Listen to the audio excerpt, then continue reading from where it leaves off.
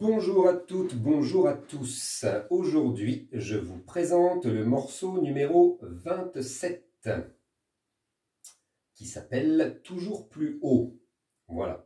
Vous le trouverez donc dans la méthode, le numéro 27. Alors, je vous avais dit euh, la semaine dernière, je vous ai proposé de travailler les flats. Donc, les flats, c'est ce qui est expliqué, c'est la petite technique qui est expliquée au début de cette page, de la page donc 8A. Euh, normalement, donc si vous avez travaillé un petit peu, vous devez connaître donc les flats. Je vous montre. Hop. Petite, euh, très légère révision. Donc le flat à droite, on lève la baguette droite et on laisse tomber les deux baguettes. Du coup, la première baguette, celle qui est la plus basse, arrive plus tôt. Donc ça fait ce petit effet.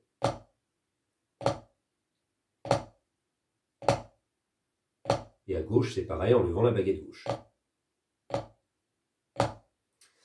Donc maintenant, nous allons faire le morceau numéro 27. Donc c'est bien indiqué, euh, donc quand c'est indiqué à droite, le flat à droite, ça veut dire qu'on lève la baguette droite, et quand c'est le flat à gauche, on lève la baguette gauche.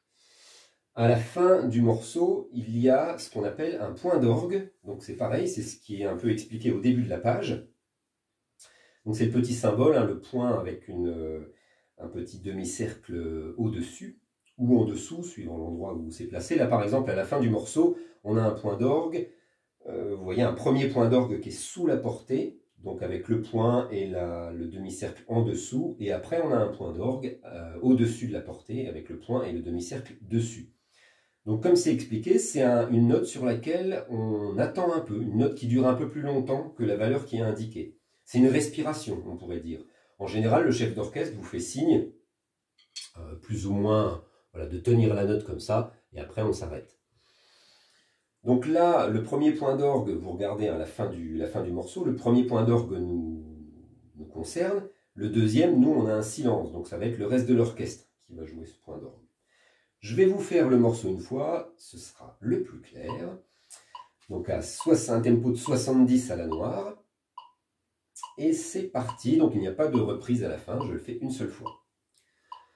1 et 2 et 3 et 4 et 1 et 2 et 3 et 4 et 1 et 2 et 3 et 4 et 1 et 2 et 3 et 4 et 1 et 2 et 3 et 4 et 1 et 2 et 3 et 4 et 1 et 2 et 3 et 4 et 1 et 2 et 3 et 4 et 1 et 2 et 3